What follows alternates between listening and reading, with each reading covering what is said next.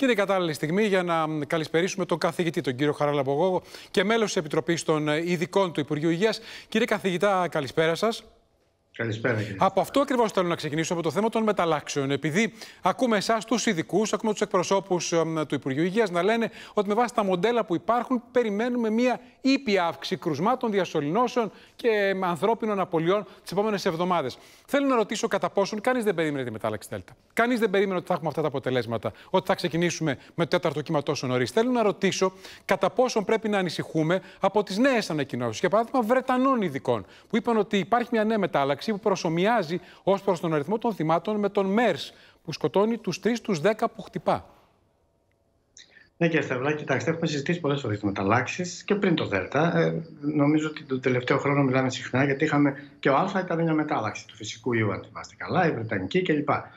Η, η και ο SARS-CoV-2 αλλάζουν συνέχεια μέσω μεταλλάξεων και έτσι εμφανίζονται διάφορες παραλλαγές καινούργιες, από τις οποίες, όπως γνωρίζετε, αυτή τη στιγμή στον SARS-CoV-2 έχουμε τέσσερι που είναι σημαντικές, που έχουν αυτό το λεγόμενο κλινικό ενδιαφέρον. Είναι οι, τα, τα variants of uh, concern, όπως Μην πάμε στα επιστημονικά, κύριε Κόκο. Απλά το ερώτημα μου είναι, φοβάστε ότι μπορεί να έχουμε νέες μεταλλάξεις πιο επικίνδυνες και πότε; Αυτές οι παραλλαγέ και στραβελάκια μέχρι στιγμής επηρεάζουν κυρίως την πρωτενη ακίδα, αυτή την πρωτενη δηλαδή που μπαίνουν στο κύτταρο. Με αποτέλεσμα να επηρεάζει κυρίως τη μεταδοτικότητα. Γι' αυτό ακούτε συχνά αν είναι βαρύτερη, ελαφρύτερη νόσος κλπ. Δυστυχώς υπάρχουν πιθανότητες σε αυτό αναφέρθηκε και η Βρετανική ομάδα εμπειρογνωμών, ναι. οι οποίοι συμβουλεύουν τη Βρετανική κυβέρνηση για το μέλλον της πανδημίας, ε, όπως γνωρίζετε. Μιλάνε λοιπόν για μεταλλάξεις που είναι σε δομικά γονίδια, ναι. που είναι στο εσωτερικό του και αυτές οι μεταλλάξεις σχετίζονται με διαφορετική συμπεριφορά στον πολλαπλασιασμό και στην αλληλεπίδραση με το ξενιστή, με το κύτταρο. Αυτές λοιπόν μπορεί να οδηγήσουν. Συνεχίστε να μιλάτε επιστημονικά. Μιλήστε μου απλά. Εγώ ρωτώ, αυτές τι μεταλλάξεις μπορεί να τις βρούμε μπροστά μας και πόσο σύντομα; Αν δείτε πώς αναφέρονται στην αναφορά του Υπουργείου στην Αγγλία, αναφέρονται με ρεαλιστική πιθανότητα. Δηλαδή, υπάρχει πιθανότητα να εμφανιστούν τέτοιες μεταλλάξεις, όπως υπάρχει και πιθανότητα να εμφανιστούν μεταλλάξεις με αντοχή στα εμβόλια στο μέλλον ή και με αντοχή στα αντιϊκά φάρμακα. Ακόμα και αυτό παίζει. Για να αποφύγουμε όλα αυτά λοιπόν, γιατί δεν ξέρουμε τι θα επικρατήσει, για να πούμε και το καλό σενάριο, υπάρχει και το σενάριο της επικράτησης τελεχών με χαμηλή παθογονικότητα και τη μετατροπή της πανδημίας, όπως γνωρίζετε, από την αρχή τα λέγαμε, σε μια νόσο ενδημική Όμως, που είναι ήπια. Επειδή πρέπει, πρέπει λοιπόν, να είμαστε ναι. έτοιμοι για όλα, το θέμα είναι τα εμβόλια να καλύπτουν τις μεταλλάξεις. Και σήμερα διάβασα ότι Pfizer και Moderna τα τροποποιούν και τα χρεώνουν και λίγο πιο ακριβά για να μπορέσουν να καλύψουν τη Δέλτα. Και ε, θέλω να σας ρωτήσω με αυτό το δεδομένο, προφανώς έχοντας Pfizer και Moderna στο μυαλό τους τρίτη δόση. Πόσο πιθανό είναι να χρειαστεί και στην Ελλάδα τρίτη δόση, όχι μόνο για ευπαθείς, όχι μόνο για ηλικιωμένους, για το σύνολο του πληθυσμού. Ένα ισχυρόπλο και στραβελάκι για να αποφύγουμε όλα αυτά που λέγαμε πριν είναι και η δυνατότητα της νέας τεχνολογίας να κάνει τα καινούργια εμβόλια που να πιάνουν και τις καινούργιες μεταλλάξεις. Κάτι τέτοιο προσπαθεί να κάνει και η Pfizer ε, αυτή τη στιγμή και η Moderna. Προς το παρόν όμως έχουμε το κλασικό εμβόλιο. Πρέπει να γίνει τρίτη δόση. Πρέπει να γίνει τρίτη δόση. Φαίνεται ότι σιγά σιγά φαίνεται ότι, φαίνεται σιγά σιγά ότι οι άρρωστοι οι οποίοι οι, μάλλον οι πολίτες οι οποίοι έχουν λίγο επηρεασμένο σωλικό σύστημα, ας πούμε οι μεταμοσχευμένοι, που έχουν πολύ επηρεασμένο σωλικό σύστημα, νοσοκατασταλμένοι, ηλικιωμένοι, έχουν σιγά σιγά φθήνουσα ανοσιακή απάντηση και σε αυτές τις περιπτώσεις για να αυξηθεί, για να επανέλθει σε ένα αποτελεσματικό επίπεδο, χρειάζεται μια επαναληπτική δόση. Όπως επίσης πιθανώς κάτι τέτοιο να χρειαστεί αν περάσει ένα ικανό χρονικό διάστημα από την πρώτη-δεύτερη δόση, διάρκεια 6 μηνών, 9 μηνών. Α πούμε, οι υγειονομικοί το έχουν καλύψει αυτό το διάστημα και εκτίθενται σε υψηλά φορτία. Πιθανώς να είναι και αυτή μια ομάδα που θα χρειαστεί να εμβολιαστεί με τρίτη δόση. Αυτά νομίζω θα συζητηθούν μέσα στον Αύγουστο από την Επιτροπή. Είναι ε, πρώτης γραμμής προβλήματο. Άρα, μας είπατε ήδη ευπαθείς, μας είπατε υγειονομικούς και ηλικιωμένους, φαντάζομαι, γιατί έχουν ε, εμβολιαστεί πρώτοι μαζί με τους υγειονομικούς. Αυτές οι τρεις ομάδες, νομίζω, είναι αυτές που θα προηγηθούν. Ε, Βλέπετε αυτό να ξεκινά από αρχές Σεπτεμβρίου. Ο κύριος Θεμιστοκλέο πριν από λίγο είμαστε έτοιμοι. Ε, είμαστε έτοιμοι διαχειριστικά. ναι, πιστεύω ότι μέσα το, μέχρι, το τέλ, μέχρι τα τέλη Αυγούστου θα αποφανθεί η Εθνική Επιτροπή με τα δεδομένα και άλλων χωρών και των οδηγιών του EMA και του CDC φυσικά. Και θα ακολουθήσουν και οι υπόλοιπες κατηγορίες του πληθυσμού, το σύνολο του πληθυσμού. Εάν αυτά ολοκληρωθούν και υπάρχει διαθεσιμότητα ναι. και αυτό αποδειχτεί ότι υπάρχει μια τέτοια διαδικασία, ναι. ας πούμε, αυτή τη στιγμή ο Παγκόσμιος Οργανισμός Υγείας δεν έχει δώσει οδηγία, αναμένει κλινικέ μελέτες και αποτελέσματα ναι, ναι. για το συγκεκριμένο θέμα. Φαίνεται όμως ότι σιγά σιγά θα οδηγηθούμε προς τα εκεί, τουλάχιστον για τους ευαίσθητους πληθυσμούς σχετικά πιο άμεσα.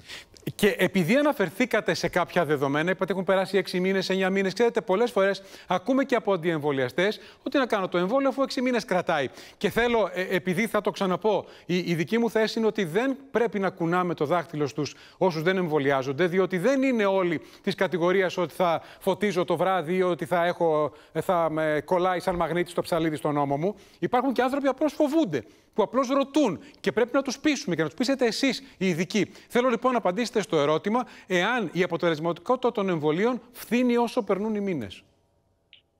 Λοιπόν, συμφωνώ απόλυτα. Κάθε άλλο παρά το κουδάκι που πρέπει να κουνάμε, το ξέρετε, το υιοθετώ και τους πάντα προσπαθώ να είμαι. Γι' αυτό σας ρωτώ και συζητούμε. Γι' αυτό το λόγο λοιπόν θα πρέπει να δούμε τα απόλυτα δεδομένα. Υπάρχουν κάποια δεδομένα που δείχνουν ότι υπάρχει μια φθήνουσα πορεία της ομάδων. Δεν ξέρουμε ακόμα κατά πόσο αυτό επηρεάζει την ενωσιακή απάντηση, γιατί υπάρχουν διάφορες διαδικασίες. Υπάρχουν τα κύτταρα, ε, η ενωσιακή μνήμη κλπ. Φαίνεται όμως, και γι' αυτό βλέπετε την, το Ισραήλ ας πούμε, ή τις ΗΠΑ ότι προχωράνε σε κάτι τέτοιο, γιατί φαίνεται ότι σε αυτές τις κατηγορίες που σας είπα, αυτές είναι αυτές οι κατηγορίες αυτή τη στιγμή που πρέπει να γίνει και θα ωφεληθούν από αυτό, ότι λόγω της μικρής ανοσιακής απάντησης, σε αυτές τις κατηγορίες λοιπόν πρέπει να γίνει κάτι τέτοιο και εκκρεμεί το τι θα γίνει για, μετά από 6 μήνες ή για τον υπόλοιπο πληθυσμό. Άρα καταλαβαίνω ότι όσοι έχουν εμβολιαστεί από Ιανουάριο, ηλικιωμένοι, υγειονομικοί, έρχεται η τρίτη δόση το Σεπτέμβριο. Για τους Ειδικά υπόλοιπους... ηλικιωμένοι και ανοσοκατασταλμένοι. Για τους υπόλοιπους το βλέπετε σταδιακά, αλλά αυτή τη στιγμή όσοι έχουν εμβολιαστεί από Απρίλιο-Μάιο είναι απολύτως καλυμμένοι, δεν πρέπει, να ανησυχούν. Υπάρχουν κλινικές μελέτες. Πρέπει μέχρι το Σεπτέμβριο να έχουμε και τα δεδομένα αυτά και θα κινηθούμε και βέβαια στα κλινικά δεδομένα. Τελευταίο θέμα. Επειδή ε, διαβάζουμε όλο και πιο συχνά μελέτες από όλο τον κόσμο και από το Αμερικανικό CDC ότι και οι εμβολιασμένοι κολλούν, μπορεί να μην νοσούν σοβαρά και αυτό είναι το ζητούμενο φυσικά, να μην καταλήγουν στην εντατική, να μην χάνουν τη ζωή τους, αλλά μπορούν να νοσήσουν ελαφρά και κυρίως μεταδίδουν τον ιό. Θέλω να σας ρωτήσω και γι' αυτό και να σας ρωτήσω με αυτό το δεδομένο αν πρέπει να ενταθούν τα μέτρα τώρα που μπαίνουμε στον Αύγουστο στην καρδιά του καλοκαιριού, ιδιαίτερα στα αποκαλούμενα κόκκινα νησιά. Κοιτάξτε, τα μέτρα είναι πάντα χρήσιμα σε αυτή τη φάση. Λοιπόν, έχουμε το δεδομένο ότι έχουμε αρκετούς ανεμβολίαστου πρώτα απ' όλα, ένα μεγάλο ποσοστό ανεμβολιάστων και βλέπουμε επίσης ότι ένα ε, φαίνεται και τα βλέπουμε και κάθε μέρα τώρα με ανθρώπους που κολλάνε, ε, ένα ποσοστό γύρω στο 30 με 40% των εμβολιασμένων μπορεί να ε, κολλήσουν και εν, εν δυνάμει να μεταδώσουν και την νόσο. Γι' αυτό το λόγο λοιπόν και επειδή α, η χρήση της μάσκας αποτελεί ένα εξαιρετικό εργαλείο SAE και όπως γνωρίζετε ουδέποτε είχε βγει εκτός η χρήση της, πρέπει να επιταχθεί πάλι η χρήση μάσκας, να περάσει πάλι αυτή η οδηγία. Και στου εξωτερικούς χώρους, κύριε καθηγητά; Ακριβώς. Ιδιαίτερα σε χώρους, κύριε Στραβελάκη, οι οποίοι είναι ζωτική σημασία για την καθημερινότητά μας τα μέσα μαζικής μεταφοράς. Άρα μας λέτε απόψε φορέστε πιο συχνά τη μάσκα και σε εξωτερικού. Μας λέτε απόψε φορέστε πιο συχνά τη μάσκα και οι εμβολιασμένοι και σε εξωτερικούς χώρους, σωστά; Σε, σε κλειστούς εσωτερικούς χώρους πρέπει να φοράμε μάσκα. Αυτό είναι ε, δεδομένο. Κανείς δεν μπορεί να διακρίνει τους εμβολιασμένους από του εμβολίες τους σε, σε μέρη που πάνε όλοι, όπως είναι, σας είπα, τα, τα καταστήματα τροφίμων, τα σούπερ μάρκετ, τα μέσα μαζικής μεταφοράς κλπ. Τώρα, από εκεί και πέρα, εάν μπορέσουμε να πετύχουμε ένα, μια εμβολιαστική κάλυψη η οποία είναι ικανή και φτάνει το 80-85% με το καλό και το περιμένουμε με μεγάλη Μακάρι. προσδοκία αυτό, τότε οι πιθανότητες να μεταδώσουμε συνολικά ελαττώνται σε, τέτοιο βαθμό, σε τέτοιο βαθμό που θα μπορέσουμε να αραιώσουμε τη χρήση των προφυλακτικών αυτών μέτρων. Και επί τη ευκαιρία να πω επίσης ότι εξακολουθούν να είναι πολύ χρήσιμα τα διαγνωστικά τεστ σε αυτή τη φάση. Βλέπετε πόσοι γυρίζουν από τα νησιά θετικοί μετά από τις καλοκαίρινε διακοπές. Πρέπει να χρησιμοποιούμε και τα self-test είναι πολύ χρήσιμα και τα αντιγονικά και τα υπόλοιπα. Υπάρχει ακόμα η φάση που χρειάζεται αυξημένοι εμβολιασμοί, αυξημένα τεστ και με μέτρα ατομικής προστασίας σε κάθε περίπτωση. Μα σήμερα είδαμε στα δωρεάν rapid test του ΡΕΣ και όταν ρωτήσαμε τι συμβαίνει, γιατί έχουμε τόσο μεγάλη προσέλευση, οι περισσότεροι είχαν γυρίσει από διακοπές και ακούγοντάς σας είχαν πάει να κάνουν τεστ. Και αυτό είναι θετικό. Και προς τιμή τους και είναι πολύ καλό. Αυτό νομίζω θα βοηθήσει πάρα είναι πολύ, στο να μην μεταφερθεί νόσος από τα κόκκινα, όπως τα περιγράψατε νησιά, στην ε, κεντρική υπηρετική χώρα. Να σε ευχαριστήσω θερμά ο καθηγητής ο κ. Χαράρα Γόγο και μέλο της Επιτροπής των Ειδικών του Υπουργείου Υγείας.